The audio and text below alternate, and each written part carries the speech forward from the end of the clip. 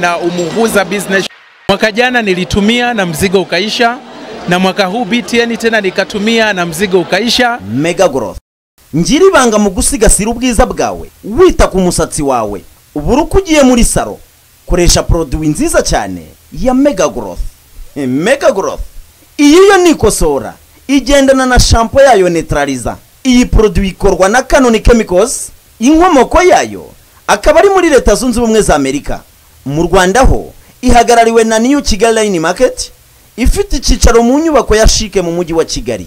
Kuri mwe mwese mwifuza kurangura iyi poroduwi nziza cyane ya mega growth mwahamagara kuri izo nimero ziri kuri ekara bakayibasangisha aho mukorera. Mega growth. Imbaraga imbere ubwiza inyuma. Wawu nta handi wasanga ibyishimo nk'ibi mu bana. Hatari mu kagera international school. Ni ishuri mpuzamahanga rifite amashami afasha abana banyu guhangana ku isoko ry'umurimo nka construction tourism hoteleri computer science na electronics. Tubafitiye icyiciro rusange cy'amashuri yisumbuye n'icy'amashuri abanza. Hakaba amacumbi meza ajyanye n'igihe kandi abana bakagaburirwa neza nk'abibereye mu rugo. Tubafitiye kandi amasomo y'indimi nk'icyongereza igifaransa n'igishinwa. Dusange mu karere ka kirehe mu murenge wa gatore cyangwa uduhamagare kuri nimero ubona kuri sikirini yawe. Mubyeyi shakira umwana wawe umunezero n'ubumenyi buzamufasha ejo hazaza. Akagera international school urugo rwa kabiri ku bana bawe. Muri iki gihe duhanganye n'icyorezo cya korona vayirasi turashishikarizwa gukaraba intoki n'amazi meza ndetse n'isabune ya deteregisi kuko deteregisi ni antibacterial. Iyi sabune ya deteregisi ni isabune ihendutse yo gukaraba igendanye n'ubushobozi bwa buri wese. Ni isabune ikoranwe ubuhanga buhanitse ndetse n'imiti yabugenewe ku buryo biyiha ubuhangange bwo kwica bagiteri zose. Niyo sabune ya mbere leta yo gukaraba. Si iyo gukaraba intoki gusa kandi kuko deteregisi ni isabune yo koga kuri buri muntu wese mu byiciro byose. Igafasha abayikarabye gusigarana umutuzo n'umunezero kubera impumuro yayo y'agahebuzo. Ihendutse ite? Iyi sabune ya deteregisi turayisanga hirya no hino mu marimantasiyo za supamaketi ndetse no mu mabutike atandukanye. Ku bifuza kurangura mwahamagara kuri zeru karindwi umunani umunani mirongo itatu mirongo itandatu n'umunani. Zeru kabiri. Turashishikarizwa gukaraba intoki n'amazi meza ndetse n'isabune ya deteregisi imbaraga z'umunsi. Akanyamuneza mu kazi kose. Gutsinda ibizamini by'ishuri ndetse no mu buzima busanzwe ibanga ni rimwe. Ahari goriros n'ahaboneye igisubizo. Ubu nirira didos. Didos ni snacks z'akataraboneka haba ku bana n'abakuru amahitamo ni sawa sawa. Didos chicken didos beef didos pizza ndetse na didos tomato chili irimo n'agasenda gake uburyohe ni standard. Reka snacks urya ntiwumva uburyohe didos ni amacensi umunsi wose. Snacks didos urazisanga aho usanzwe ugurira goriros hose mu gihugu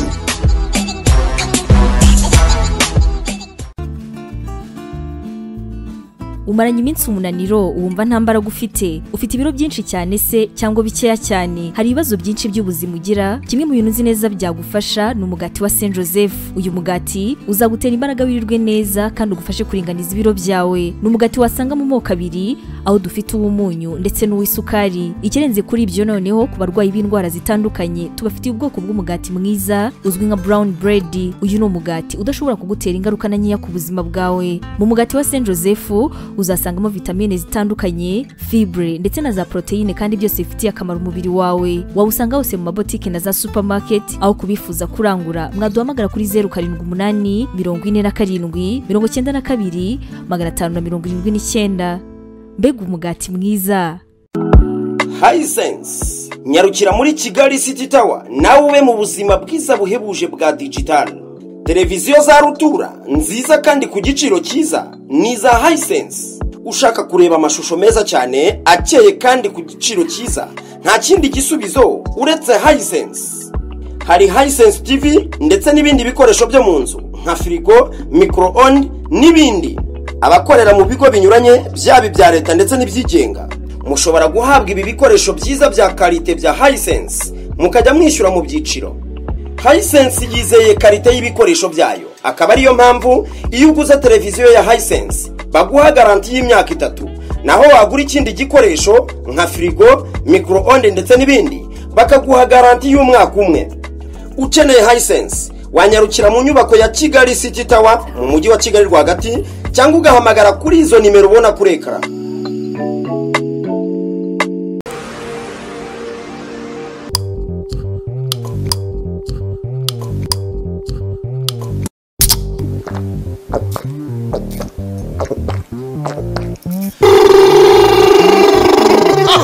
Hypino Energy Drink.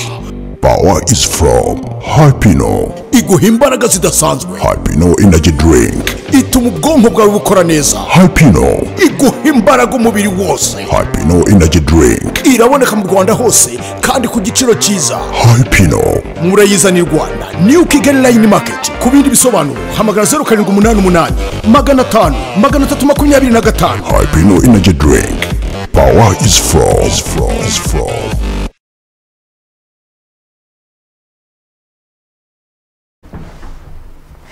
Yes ibihe byiza nshuti bakunzi ba btn abadukurikira muri hirya no hino mu bice bitandukanye abari hano mu rwanda ndetse no hakurya y'imbibi zarwo nizere ko mukomeje kugubwa neza. Uyu ni wa mwanya mwiza rero umwanya wanyu umwanya w'ikiganiro umuhuza business show. Iyi ni business show ni ikiganiro muri rusange kigufasha mu byerekeranye n'iterambere ryawe. Wakora iki kugira ngo ubashe gutera imbere? Ese wowe uri mu bucuruzi ubukora gute? Birasaba iki kugira ngo bwa bucuruzi burusheho gukomeza kugenda neza? Ese ibicuruzwa byawe ufite abantu muri rusange barabimenya cyangwa ntibabimenya? Burya uramutse uri umucuruzi ugacuruza udafite abakiriya bahagije kuri bya bicuruzwa byawe ntacyo byaba bikumariye. Ibyo bicuruzwa byawe byaba ari ibyawe nyine. Wajya ubyikoreshereza. Niyo mpamvu rero twatekereje ku kiganiro cyitwa umuhuza. Twe turabahuza na ba bandi bakora ibyo mukeneye ngo ndavuga abanyarwanda muri rusange ah, ariko nanone tugafasha ba bandi b'abanyenganda cyangwa se ba bacuruzi bafite poroduwi zitandukanye kugira ngo ba baguzi babashe kumenya aho bya bicuruzwa biri. Ntabwo ari ibyo gusa. Tuganira mu nzira z'iterambere. Ni igiki twakora kugira ngo tubashe guhindura ubuzima bwacu. Mpora mbabwira muri iki kiganiro buri gihe ngo siko bizahora. Ibyo bintu mujye mubizirikana. Uyu munsi umeze nabi ufite ibibazo bitandukanye by'umwihariko bya mikoro cyangwa se bigendanye eh, n'ubuzima bwawe n'ubukene. Ariko ndakubwira ngo siko bizahora kuko ubuzima bwawe bwahinduka. Ntabwo buriya abo tubona bakize ari uko bavutse mu miryango ikize ari uko ah, ba- bafite ngo ababahaye amafaranga babahuhiyemo n'ibindi bitandukanye buriya gukira birashoboka. Ariko reka mbabwire ibanga ryo gukira. Ibanga ryo gukira rya mbere ni ugukora. Ni ukubiharanira. Ni ukugira ubushake bwo kuvuga ngo nanjye ngomba guhindura ubuzima bwanjye kubera iki? Njye ntarambirwa ubuzima bubi mbayemo. Burya ni ikibazo gikomeye cyane iyo ufite ikibazo cy'ubukene. Ariko ntunabirambirwe ngo ushake inzira zagufasha kuva muri ubwo bukene. Ibyo byo dukunze kubiganiraho buri gihe kandi ntabwo nzasubira inyuma mu kubaganiriza kuri iyo ngingo. Ariko ah, ni byo natangiye mbabwira muri iki kiganiro ngomba kubahuza n'abantu bakora ibintu bitandukanye mukeneye. Uyu munsi interuro yacu cyangwa se eh, insanganyamatsiko yacu. Nyamukuru ndashaka kugira ngo nk'abanyarwanda muri rusange dusobanukirwe apurikasiyo imwe iri hano mu rwanda nshyashya nabwo ni nshyashya ntabwo iramara igihe kirekire bayita ayoba. Ni iyacu nk'abanyarwanda. Nayo ni made in rwanda. Ayoba ni mtn yabatekerejeho nk'abanyarwanda muri rusange cyangwa se nk'abaturarwanda nk'abakiriya banyu abakiriya babo cyangwa se ba mtn ariko nawe utaraba umukiriya wa mtn ibi birakureba. Babatekerejeho babazanira icyitwa ayoba. Ayoba ni iki? Ikoreshwa ryari? Ikoreshwa nande? Ikoreshwa mu buhe buryo? Muri iki kiganiro ni byo ngira ngo dusobanukirwe neza kurushaho. Ntekereza ko turaza gusoza kino kiganiro. Nawe utari uyizi ari ubwa mbere uyumvise ndashaka ko dusoza ikiganiro wayisobanukiwe. Kandi dusoza iki kiganiro nawe watangiye kuyikoresha. Ntekereza ko bishoboka. Barabidusobanurira neza mu kanya. Reka rero mfate uyu mwanya nakire umutumirwa wacu muri iki kiganiro. Bamwita christelle sabwe eh, musonera. Uyu akaba ari umukozi muri mtn by'umwihariko mu ishami rishinzwe ubucuruzi. Birumvikana ari muri marketing. Ni na yo mpamvu nyamukuru ari hano kugira ngo adusobanurire byimbitse ibyerekeranye n'iyi application. Ikaze christelle. Murakoze cyane. Mumeze neza muri MTN yego tumeze mukomeje gutekereza ku bakiriya ibyiza mugenda mudusunikira buri munsi ku wundi tugenda tubibona. Yego niko bihora bimeze. Imana ikomeze ibarinde kandi. imana ikomeze ibarinde muri ibi bihe turimo turi mu bihe bitoroshye. Niyo mpamvu mubona natwe hano dufite intera cyangwa se tuba twasizemo intera. Ah, hari n'uburyo cyangwa se ingamba zihari zo kwirinda coronavirus. No muri MTN ndabizi. Namwe mwabitekerejeho muravuga muti abanyarwanda nk'abakiriya bacu tugomba kubafasha mu kwirinda kino cyorezo kubera ko twebwe nk'abanyarwanda ariko nanone n'abakiriya bacu ah, ni ngombwa ko tuba bazima kuko tutari bazima twese ntacyo twageraho. Icyangombwa ni ubuzima. Christelle ubu twinjiye tugiye ku kintu cyitwa ayoba. Ayoba. Iki kiganiro rero turimo cyitwa umuhuza business show. Duhuza muri business. Yego. Ntabwo ari ubwa mbere nakiriye MTN muri iki kiganiro. Ah, abakozi batandukanye mu buryo bunyuranye cyangwa se mu bihe bitandukanye muri MTN twagiye tubakira muri iki kiganiro. Ariko noneho uyu munsi ikigezweho buriya natwe tugendana n'ibigezweho. Uyu munsi ikigezweho ni icyitwa ayoba. Christelle ayoba ubundi muri rusange nk'umuntu udukurikiye yumva ayoba ari iki? Ayoba ni application. Ayoba uh, biroroshye cyane kuyisobanura. Ku muntu uta, utarayimenya ni application ikora ibijyanye no gucatinga ni ukuvuga ngo izi application tubona dukoresha mu gucatinga na yo ikora nkabyo ariko ikagenda igira umwihariko wayo utasanga kuri izi application zindi. Ni ukuvuga ngo iyo ufite application ya ayoba ubasha gucatinga ukohereza message isanzwe cyangwa se ukohereza ubutumwa bw'amajwi ukohereza amafoto ukohereza application ukohereza videwo cyangwa se ukatacingaho dokima ushaka. Ibyo ni ibintu dusanga ku ma application atandukanye akora ibijyanye na no gucatinga yego. Ariko umwihariko wa ayoba ni uko iyi application ushobora ubundi application zindi tumenyereye yuko uvugana n'abandi bayifite. Ni ukuvuga ngo niba ngewe ndi gukoresha ayoba mu busanzwe bisaba ko nawe uba ufite ayoba kugira ngo tubashe gukominiketinga cyangwa se tubashe kuganira. Ariko kuri ayoba ntabwo ariko bimeze. Ni ukuvuga ngo niba umuntu ari umufatabuguzi wa Yego. akaba ari muri contact yawe ushobora kumwandikira niyo yaba adafite ayoba bisaba ngo wowe umwandikire abone ubutumwa bugufi kandi anagusubize. Yego. Icyo ni ikintu utasanga ku zindi application zikoreshwa mu gucatinga hanyuma ikintu cya gatatu igi- igira icyitwa channels. Ntago izindi application tubona hano hanze zifite izo channels. Ujyaho ugacatinga bimwe nabanje kuvuga ukandika ukohereza ubutumwa bw'amajwi ukaba washyiraho contact ukatacingaho location ukaba washyiraho amafoto ukashyiraho video ariko ntabwo wabasha kwandikirana n'undi muntu udafite application nta nubwo wabasha kubona izo channels.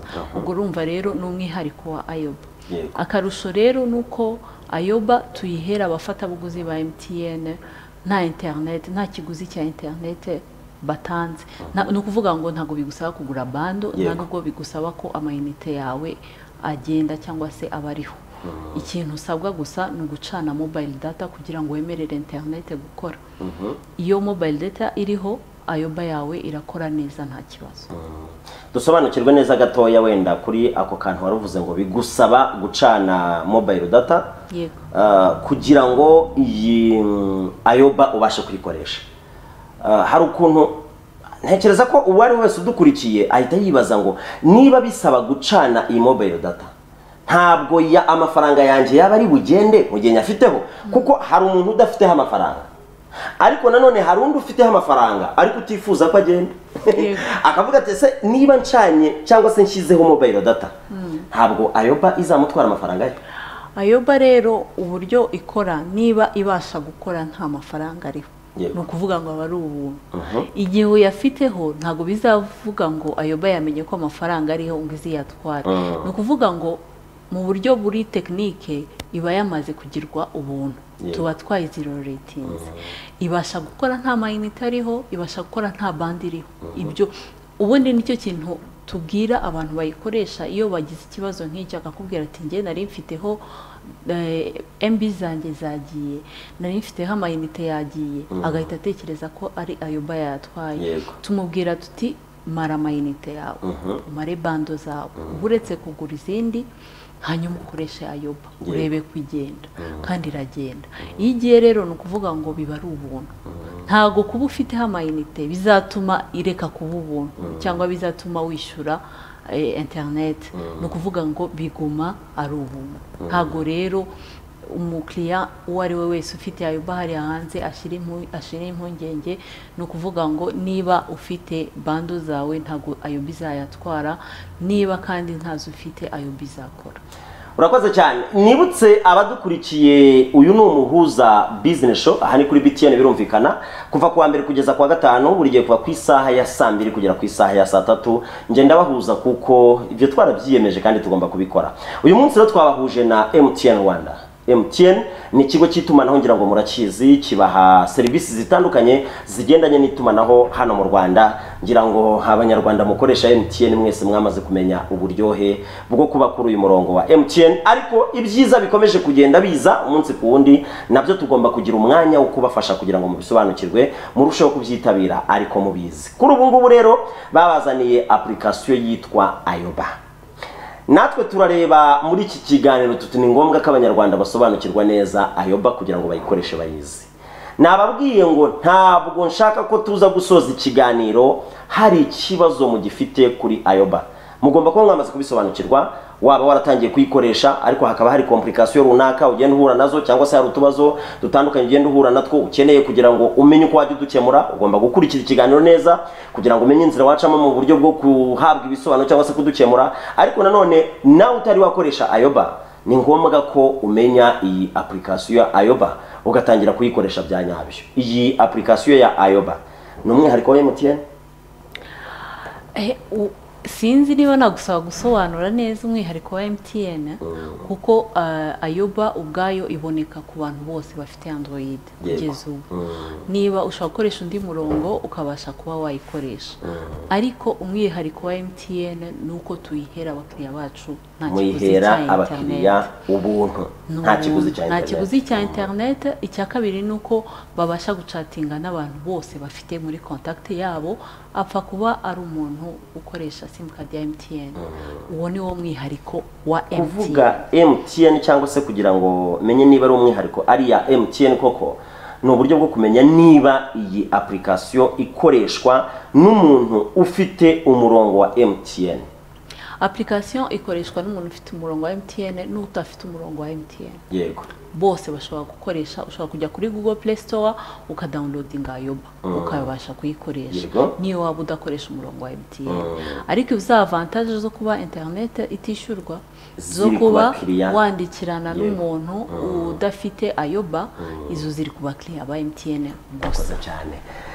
Ni umuhuza business show ndi kumwe na bwana Trezor ni we urimo kumfasha mu buhanga bw'ibyuma kugira ngo amajwi n'amashusho bibagereho bimeze neza cyane. Mu kanya ndaza no gufungura umurongo kugira ngo muduhamagare niba hari ikibazo runaka mufite mubashe kugisobanuza. Ariko ndaza kugera igihe cyo kwakira amatelefone yanyu birumvikana ntabwo ari mu ntangiro buriya mu ntangiro mbaca kugira ngo mubanze musobanukirwe neza. Ndi kumwe rero na madamu Christelle Sabwa. Uyu nguyu uh, akaba ari umukozi wa MTN by'umwihariko mu ishami rishinzwe ubucuruzi cyangwa se muri marketing ya MTN birumvikana afite byinshi byo kudusobanurira uyu munsi. Dufite abandi bafatanyabikorwa batandukanye muri iki kiganiro uh, by'umwihariko mu muhuza business show nabanje kubereka ikinyobwa cyiza cyane kigezweho cyitwa Hypno Energy Drink.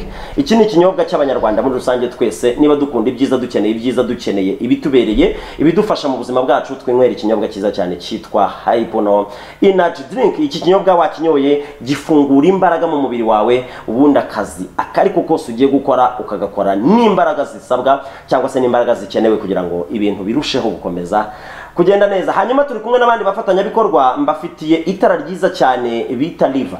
Riva karabwo umuntu yanshekeje arambwira ati yewe riva biragaragaza ko kuko ari riva izuba riva ni ngo iri tara rirabonesha cyane ku buryo wagira ngo ni ku manywa. Ntabwo ushobora kumenya ko bwije igihe cyose urimo gukoresha rino tara aho ariho hose waba uri niba ari mu bucuruzi niba ari mu bikorwa byawe runaka ibyo ari byo byose iri ni itara ribonesha cyane. Ryanditseho ngo riva nujya kuri botike nujya muri alimentation nujya aho ariho hose muri kenkayori n'ahandi ubabwira utinje kugura itara ryitwa riva riva rero ryazanywe mu rwanda n'ikigo cy'ubucuruzi cyitwa riva trading limited ari cyo kitugezaho ibikoresho bitandukanye cyane cyane ibikoresho by'ubwubatsi. Ukeneye rero iri tara ryo muri riva ukeneye kurirangura wabahamagara kuri telefone zikurikira ni zeru karindwi umunani umunani mirongo itatu n'umunani mirongo itandatu na gatatu zeru gatatu. Zeru karindwi umunani umunani mirongo itatu n'umunani mirongo itandatu na gatatu zeru gatatu aho ni muri river trading limited. Ni haruguru y'isoko rya nyarugenge neza munsi y'inkuru nziza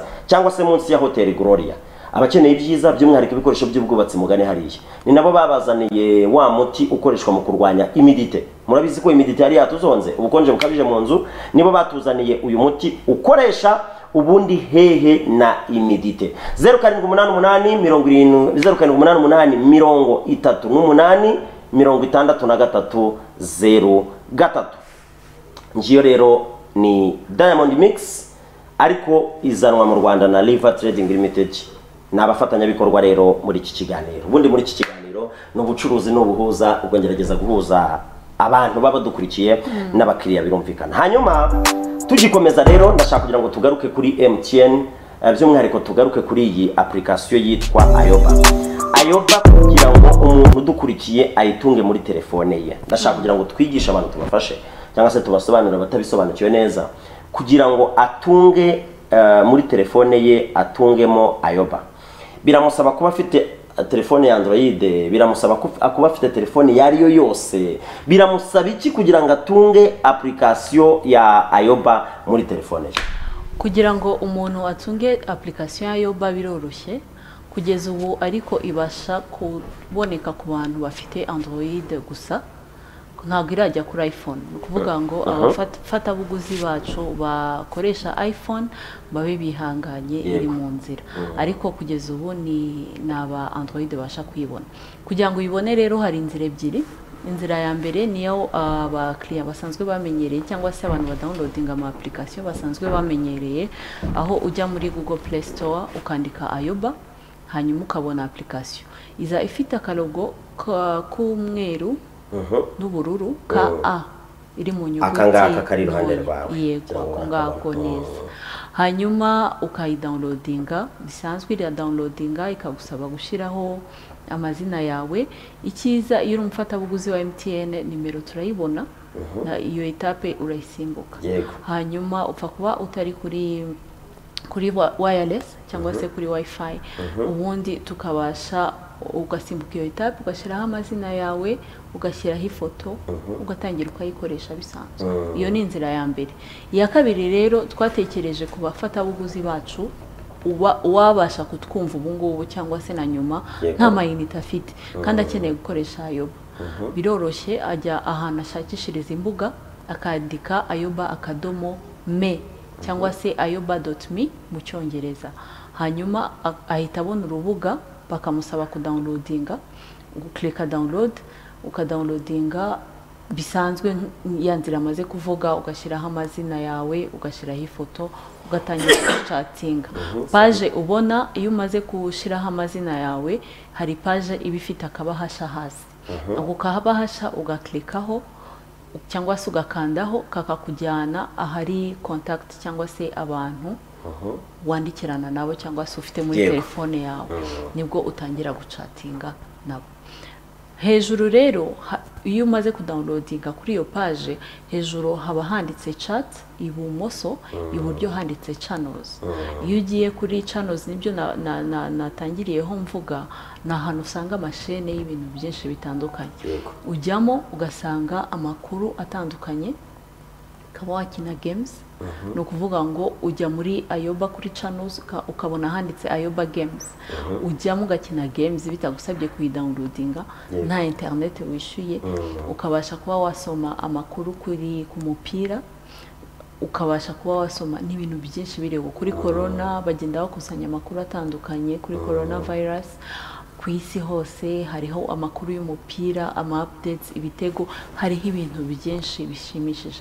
Mboneraho no kuvuga yuko hariho shene nshyashya yo mu rwanda. Dufiteho igihe. Ubwo amakuru yo ku gihe ubasha kujyaho ukayabona ukayasoma nta interinete bigusaba ukoresheje ayo ukoresheje ayoba. Ujya kuri ayoba ukajya kuri channels ukareba igihe. Mu Christelle. Bitumye mpita ngira amatsiko ubundi ama application atandukanye burya hari ukuntu abantu bagenda bareba bakavuga ati iyi application ni iy'abajene ni iy'urubyiruko ni iy'abantu bakuze ni iy'abantu mu cyiciro runaka. Iyo murebye neza ayoba mubona ari ikihe cyiciro koko mu by'ukuri cyangwa se mubona ari bande ah, ikihe cyiciro gishobora kuyungukiramo cyane cyangwa se cyakunda kuyikoresha cyane? Navuga ko ayoba ni iy'abantu bose ni iy'abantu bose kuko niba uri umuntu mukuru uri mu cyiciro cy'abakuze ubasha kujyaho ugasoma amakuru. Turabizi ko nta muntu mukuru ucikwa n'amakuru. Ubasha kujyaho ugasoma amakuru. Niba uri mu cyiciro cy'aba- cy'abajene hariho games. Ujyaho ukabona games ukabona amakuru kuri football ukabona updates nyinshi zitandukanye. Ni ukuvuga ngo buri wese yisangamo. Cyane cyane yuko nka chat nta muntu udacatinga n'abasaza bamenye gukoresha ibintu bya chat. Urumva rero ni application twakoreye buri buri buri buri kategori buri cyiciro cy'aba- cy'abafatabuguzi bacu tukagenda dushyiraho umwihariko wabo. Ku buryo buri wese ayikoresha akabasha kwisangamo. Iyi ni ayoba iyi ni ayoba emutiyeni barababwira bati rwose abakiriya bacu twashatse kugira ngo tubafashe communication cyangwa se koroshya uburyo bw'itumanaho uburyo bwo kuganira uburyo bwo kwisanzura mukoresheje umurongo wacu wa MTN ariko mugakoresha ayoba kandi mwumvise ko ari ibyiciro byose. Ni application rero utunga muri telefone yawe ya Android nk'uko babidusobanuriye ujya kuri Play Store ubundi ukayiteresharija ukayishyira muri telefone yawe ugatangira gucatinga cyangwa se ugatangira communication hagati yawe n'inshuti zawe. Ntekereza ko abakurikiye ikiganiro bamwe mwatangiye kuyikoresha ariko hari n'abandi mutaratangira gukoresha ayoba. Uyu munsi rero navuze ngo mugomba kuza gusobanukirwa neza byimbitswe. Eh, byimbitse ibyerekeranye n'iyi application ya ayoba. Uyu ni umuhuza business show kuva kuwa mbere kugeza kuwa gatanu buri gihe saa mbiri kugera ku isaha ya saa tatu. Ibyo byo mumaze kubimenyera. Ndi kumwe rero na madamu christelle sabwa Musa- musonera. Uyu nguyu akaba aturutse muri mtn kugira ngo adusobanurire neza ibyerekeranye n'iyi application. Mwigeze kutubwira mutubwira buryo ki iyi application ifasha abantu kugira ngo barusheho gukomeza gusabana gucatinga koherezanya amavideo n'ibindi bitandukanye bituma ntekereza iyi application mwatubwiye ko kuyikoresha bidasaba gutwara interineti kandi ubusanzwe aya ma application asanzwe dusanzwe dukoresha burya iyo urimo kuyikoresha ibyo ugiye kohereza uburemere bwabyo n'ibindi bigusaba kubanza uba uti mfitemo mega zihagije kugira ngo mbashe kohereza ikintu kingana gutya. Waba uzi ko ntazo ufitemo ufitemo nkeya ukohereza duke niba ari ifoto urohereza imwe aho kugira ngo wohereze ijana ibintu nk'ibyo. Ah, ntabwo bi- bigendana bite n'iyi ayoba? Niba ayoba y'ubwayo idasaba amafaranga kuyikoresha cyangwa se idasaba interineti ariko nkaba nshaka kohereza videwo nta ngano ya videwo bambwira ngomba kohereza niyo ntakohereza amafoto byose urapfa kohereza gusa kubera ko ufite a, android ukaba washyizeho data zicanye. Ariko nta mayinite mfitemo nshobora kohereza ibyo byose natekereje ku cyitwa cost cyangwa se igiciro. Eh, kugeza ubu nta cost iriho ntayo. Icyo wakohereza cyose kikagenda waba wizeye ko utari bukishuzwe hanyuma ikintu ubajije ni cyiza kuko uburemere bwa dokima ugiye kohereza cyangwa se videwo bura butekerezwaho ntabwo ikintu cyose uko kingana ariko cya- cyagenda application igenda igira amalimiti Yego. A- na yo ba rero niko imeze. Kugeza ubu ngubu umuntu ashobora kohereza fayili se cyangwa se amafoto cyangwa videwo itaremereye kurusha eh, MBs mirongo itatu n'ebyiri. Yego. Bitavuze ngo ni ko izahora uko tugenda twapugiredinga hari ikintu tugenda twongeraho. Yatangiriye kuri makumyabiri igeze kuri mirongo itatu n'ebyiri uko tugiye dutanga verisiyo nshyashya hari ikintu gishyashya kigenda kizamo Mm. ni ibintu byiza cyane ni ibintu byiza cyane ku banyarwanda by'umwihariko ku bakoresha umurongo wa MTN bwo mwabyumvise. Birumvikana aba ari uburyo bwo kugufasha wowe kugira ngo ubashe gukora communication. Njye rero mpita njya mu bucuruzi njye mpita njya muri business. Eh mpita njya muri business. Uyu munsi iyi application eh, iyi application ya Ayoba ntekereza ko mwatekereje ku banyarwanda cyangwa se ku bakiriya muri rusange bose. Ariko abacuruzi murabona igiye kudufasha iki? Kuko ngewe mpita njya mu rwego rw'abacuruzi ni twicururiza ibi ducuruza gutya tubigenza gutya. Iyi application hari aho ishobora kuba yafasha umucuruzi kugira ngo ubucuruzi bwe bugende neza kurushaho.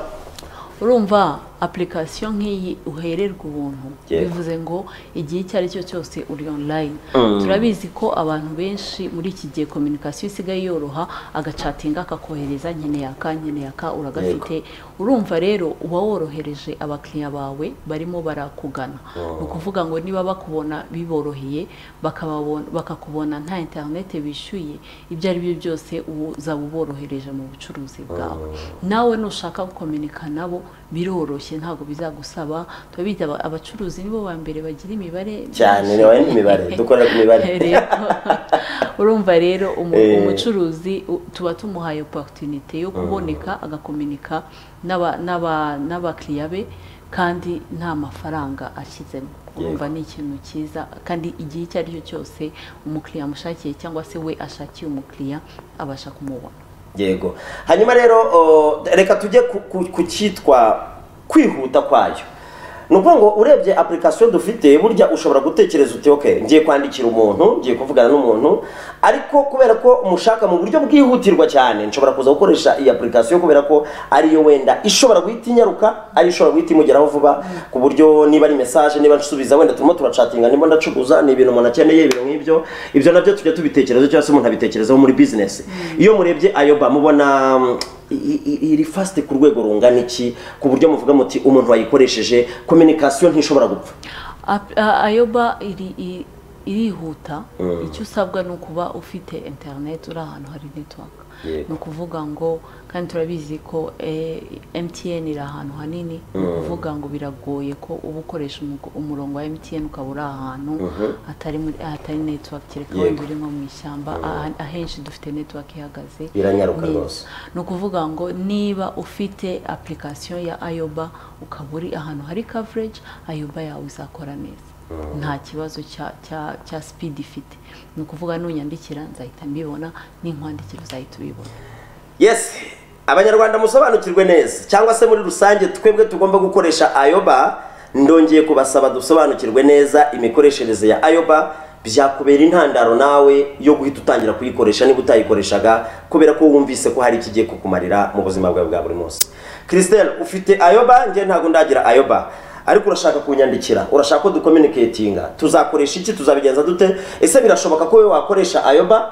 Njyewe ntayifite ntarayitunga bigakunda. Ubwo ndavuga ku ruhande rumwe ko waba ufite android nanjye mfite android ariko ukaba we warayiteresharije njyewe ntarayiteresharije. Communication irashoboka. Hanyuma nanone tuze kureba ba bantu noneho bafite telefone z'ubwoko butandukanye. Wowe ufite telefone ya android njyewe ntayo mfite. Ayoba hari ahantu izadufasha guhura. Ayoba irakora kuri android zose. Ni ukuvuga ngo umuntu ufite android abasha kuyigira. Ariko noneho wa undi ufite android cyangwa udafite android akaba ukaba ushaka kumwandikira. Wowe uyifite ushobora kumwandikira. Ni ukuvuga ngo ngewe christelle niba mfite ayoba ndanayifite ushobora kubandikira sinzi niba wari wayidawunilodinga cyangwa utarayidawunilodinga nanjye ntabwo nabo ndayifite ariko nyuma yo kubona uko imeze icyo mbariza abanyarwanda nawe ntabwo nabo ntabwo twagutesitingiraho ntabwo twakwerekaniraho ariko igihari ni uko ngewe mfite ayoba nshobora kukwandikira wowe utayifite kandi muri icyo gihe ntabwo bisaba ubwoko bwa telefone runaka ni ukuvuga ngo igihe cyose ufite umurongo wa mtn ngewe mfite ayoba. Ndakwandikira ndi umufatabuguzi wa mtn nawe uri umufatabuguzi wa Yego. ndakwandikira ubibone. Ubone sms nurangiza unansubize kandi nawe nusubiza ntabwo tukwishyuza na byo ni ubuntu ni ukuvuga ngo urahita unsubiza nanjye mbibone kuri ayoba nta kindi kibazo kirimo. Mm, aho ngaho ni ku bantu bafite android bombi. N'abadafite android. Ni ukuvuga ngo kugira ngo ntunge ayoba binsaba kuba mfite android. Kugira ngo uyiteresharije kugira ngo uyitereshaje Yego. uyigire muri telefone yawe. Bisaba ko mba mfite Android.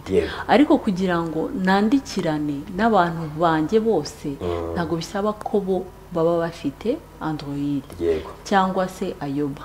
Ni ukuvuga ngo upfa kuba ufite umurongo wa mtn ngewe ninkwandikira n'uba ushaka uba ufite karasharamye n'ushaka uba ufite iphone n'uba ushaka uba ufite android y'ubwoko butandukanye n'iyanjye. Uzabona sms nurangiza unsubize ngewe mbibone kuri ayo mbibone kuri ayoba yego. Iri ni ikoranabuhanga. Iri ni ikoranabuhanga. Uyu munsi wa none uretse n'u rwanda. Isi yose muri rusange turi mu gihe cy'ikoranabuhanga. Niyo mpamvu tugomba gukoresha ikoranabuhanga tugakoresha ayoba. Nizere ko mwese aho muri mwamaze kumenya ayoba mwatangiye gukoresha ayoba. Niba rero hari ikibazo runaka waba ufite mu kanya ndashaka kugira ngo tugufungurire umurongo ndaza kubaha iminota mike ah, iminota nk'itanu cyangwa se irindwi gutyo.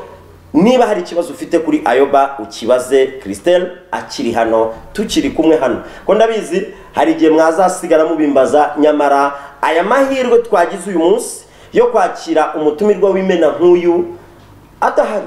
Ni ukuvuga ngo abaye adahari mukabimbaza urumva byansaba nanjye umwanya wo kongera kujyayo kujya kubashaka kugira ngo basobanure ariko uyu munsi bahari rwose ni uburenganzira bwanyu. Wakohereza rero eh, wakohereza ubutumwa bwawe ukoresheje telefone ya MTN urimo kubona aho ngaho zeru karindwi umunani umunani mirongo irindwi n'icyenda makumyabiri na rimwe mirongo inani na karindwi. Wakoresha SMS isanzwe cyangwa se ugaca kuri WhatsApp. Ngira ngo murayibona aho ngaho kuri screen zanyu ni WhatsApp zeru karindwi umunani umunani mirongo irindwi n'icyenda makumyabiri na rimwe mirongo inani na karindwi. Ariko nanone waduhamagara ukoresheje zeru karindwi umunani gatandatu mirongo itandatu n'umunani mirongo itanu zeru zeru zeru karindwi umunani gatandatu mirongo itandatu n'umunani mirongo itanu zeru zeru. Ngenda cyari biseruka abdulkarim ni tonto didos. Nizere ko abana b'inshuti zanjye buriya nitwa tonto didos. Hari aho njya ngera abana tugasangira didos tukishima tukanezerwa. Nari tonto gorirosi aho nyuze hose abana bati gorirosi gorirosi buriya gorirosi na didosi nimvuga gorirosi wumve didosi kubera ko ahari hicaye gorirosi kuri ubu hicaye didosi kuko gorirosi yakorerwaga imahanga. Abantu baza kureba basanga atari ngombwa ko twakomeza gukura ibintu imahanga gusa ariko natwe bishoboka ko twabikora. Hanyuma dutangira gukora mu rwanda. Didosi didosi ikozwe mu kigori kivangiye n'ibintu bitandukanye. Abantu rero barayikunda b'ingeri zose ntabwo ari abana gusa ni abantu bose mu byiciro byose. Kuko wariye didosi ushobora kurya chicken ushobora kurya pizza ushobora kurya eh, tomato chili ushobora kurya beef ikozwe mu nyama z'inkoko ah, z'inka. Inyama z'inkoko yo niyo bita chicken hanyuma inyama z'inka ni beef. Ariko ibyo byose ni intungamubiri. Buriya uba urimo kurya intungamubiri cyangwa se uba urimo kurya amafunguro akubakira ubuzima bwawe. Abantu mwese rero mwirire didosi iragura amafaranga magana abiri. Magana abiri kwa kadogo urayisangayo kwa murokore kwa kazungu. Bose muri rusange b'abacuruzi mu makaritsiye turasanga bafite didosi. Abatayifite rero muhamagare zeru karindwi umunani umunani nanone mirongo itatu mirongo itandatu n'umunani. Zeru kabiri izo nimero mubona kuri sikirini zanyu cyangwa zeru karindwi umunani kabiri makumyabiri na rimwe mirongo itatu mirongo ine na kane. Nuhamagara kuri iyi nimero baragusangisha didosi aho ukorera. Bivuga ngo nta kintu na kimwe ufite cyo gusobanurira abakiriya ngo ngewe didosi sindayibona.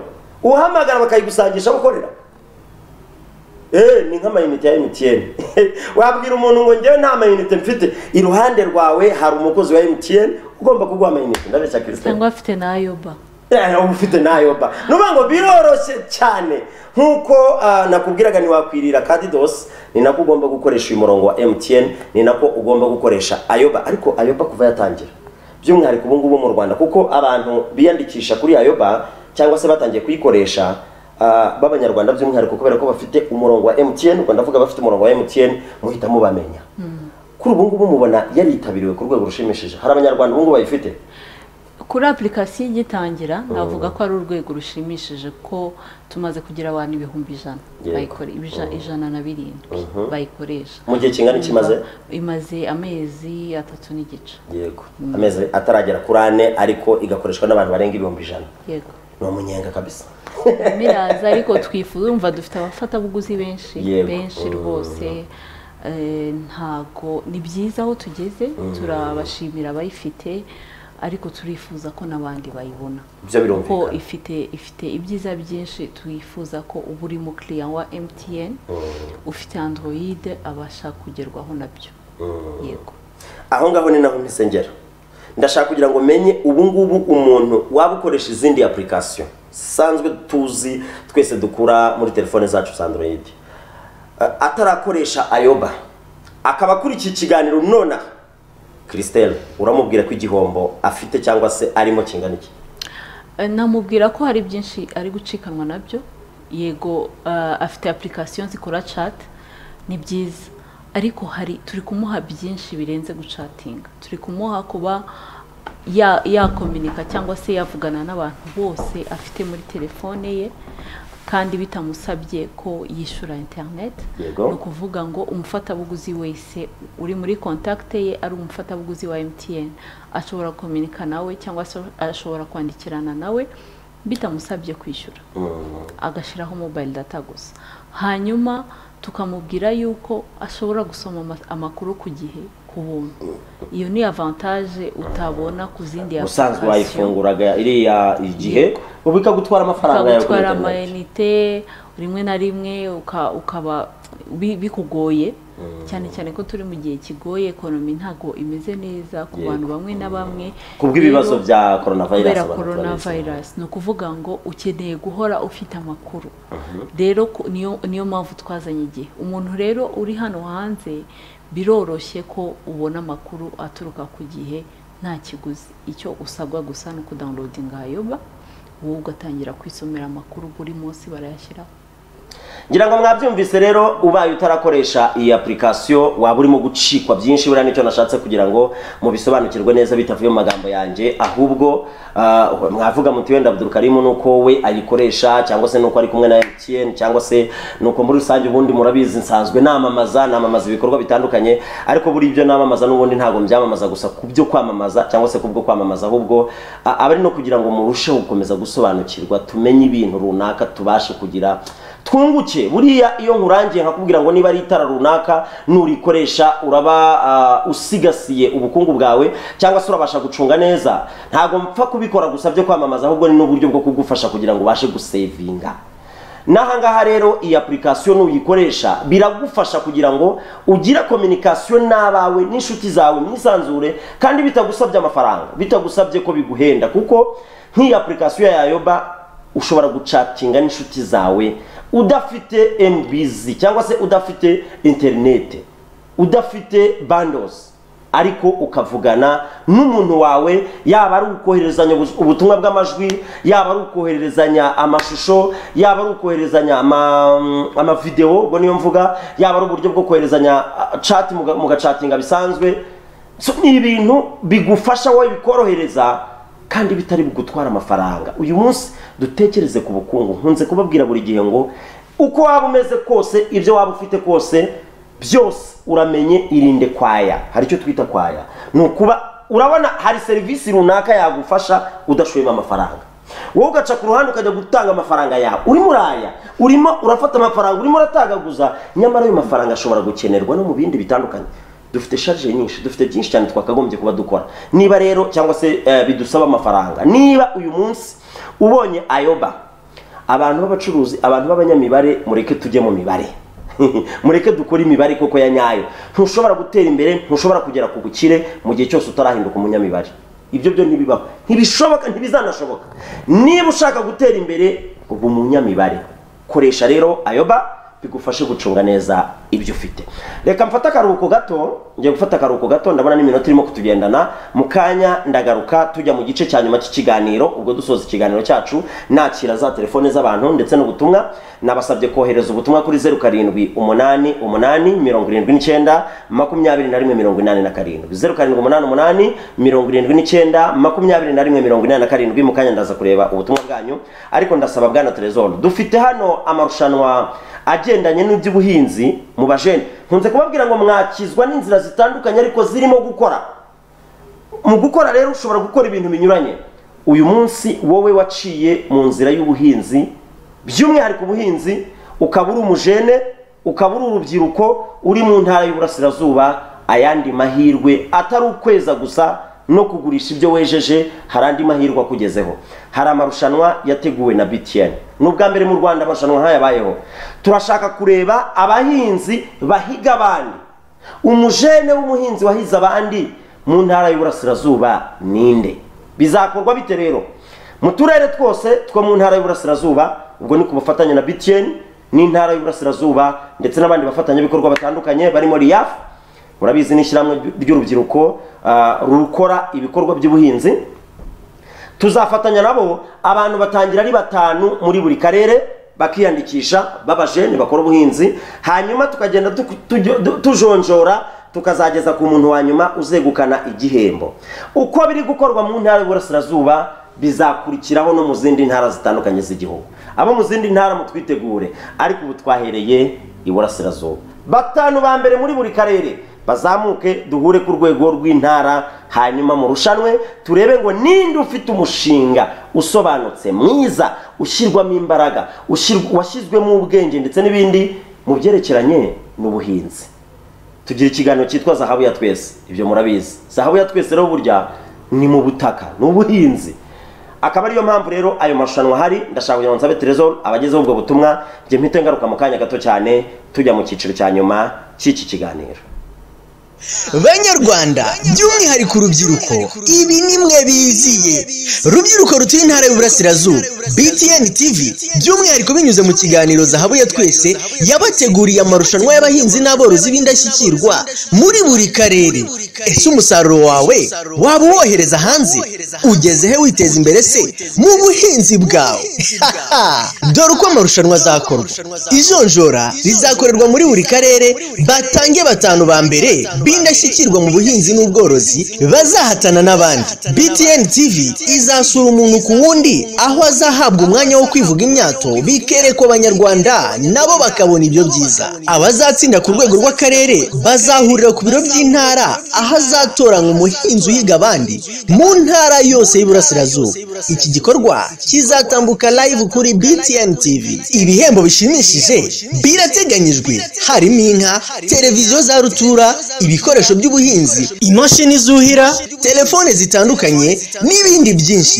By'umwihariko umuhinzi uzahiga abandi ku rwego rw'intara azashyirwa kuri billboard bigaragazwa nk'umuhinzi w'indashyikirwa mu rubyiruko w'igihembwe cy'ihinga turimo. Kuva tariki ya mbere z'ukwa cyenda muzakurikira ibiganiro bitandukanye kuri btn tv aho azatambuka ibiganiro n'abahinzi b'urubyiruko muri buri karere bafatanyabikorwa mu buhinzi.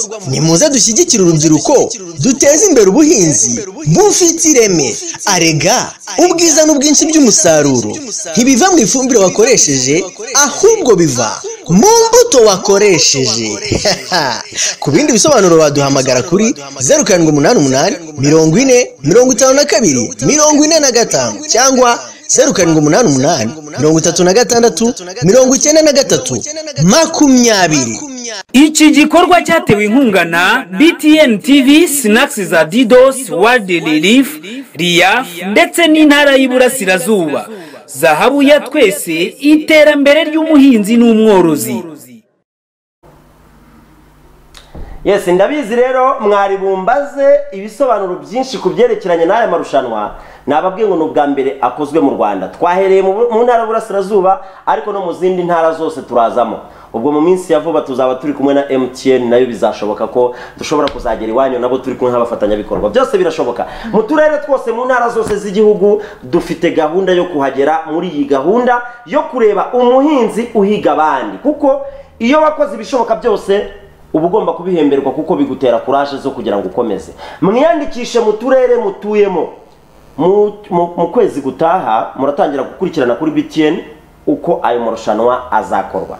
Mu kwezi gutaha kuva ku itariki ya mbere muratangira gukurikirana ubwo uh, final ni hariya mu ntara y'uburasirazuba nyine hano i rwamagana muri dereva hotel. Niho tuzaba turi. Ubwo tuzagenda tu- tuba updatinga cyangwa se tubaha amakuru y'aho bigeze.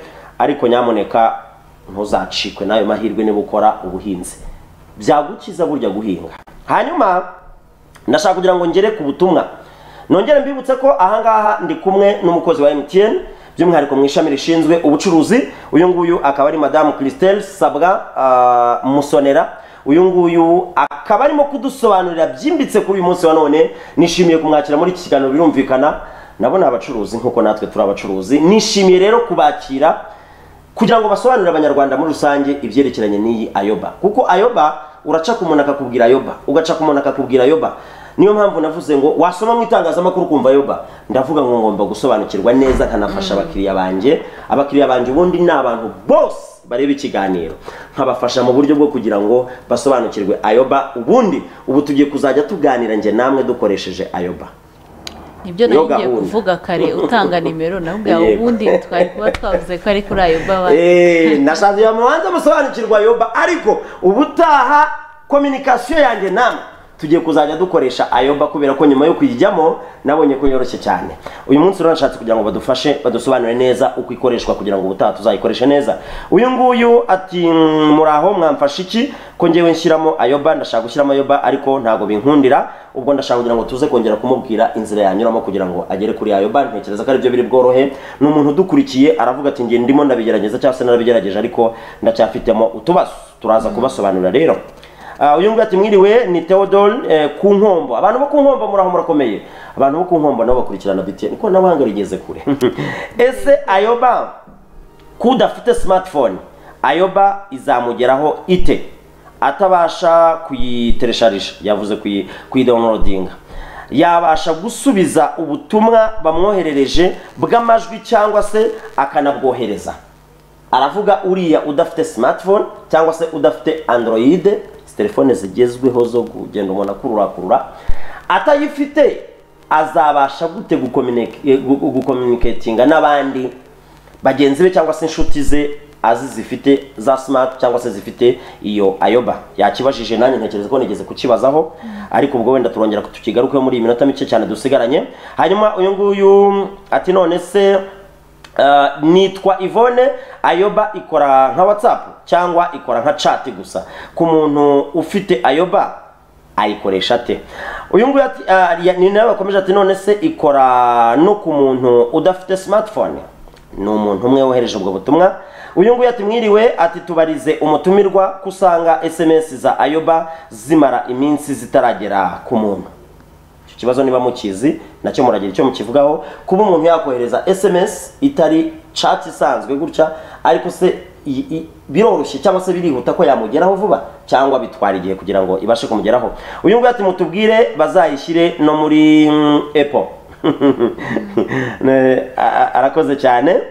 Eh, ubwo nizere ko nabo muraza kubaha ikindi cyizere. Um, hmm. ndasaba ubufasha rwose.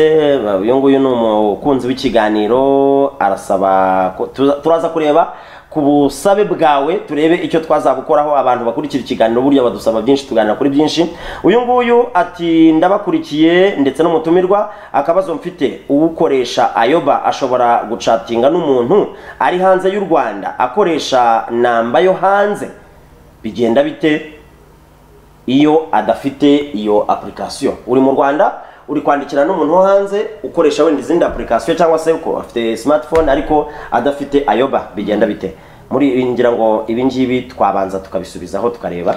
Yego ngira ngo ndagerageza kubanza uranyibutsa. Ibyo nta nta capturinze neza. Mm. ariko ku muntu uri kudawunilodinga ayoba bikanga ndaza gufata nimero ye eh, nze kumufasha ariko nanasubiramo uburyo bigenda kugira ngo n'undi wese uri hariya hanze ufite icyo kibazo abashe kubona ukuntu abigenza. Ni ukuvuga ngo application ya ayoba uyikura kuri play store ukandika ayoba ukayidawunilodinga bisanzwe.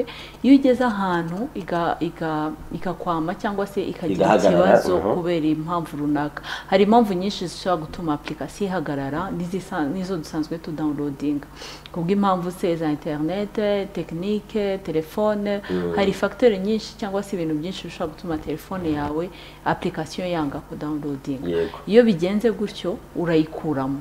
Bisa- bisanzwe urongera ukayaninstolinga cyangwa se ukayisiba Mm. ukayinsitara bushyashya yego. Birakunda. Hanyuma uh, undi ikibazo yabajije ati iyo mm. ufite udafite android kandi mu- bakakohe- bakakwandikira. Icya mbere cyo udafite smartphone ntago wagira ayoba ntago wayitunga ngo bikunde. Ibyo byo birumvikana. Ko Ariko wakira ap- message. application ijya kuri kuri smartphone. Yego. ariko umuntu ashobora kukwandikira ukakira message. Noneho yabajije ati ubu eh, niba ubutwa- ubutumwa bw'amajwi ushobora Mm. kubwumva cyangwa se ukabusubiza? Mm.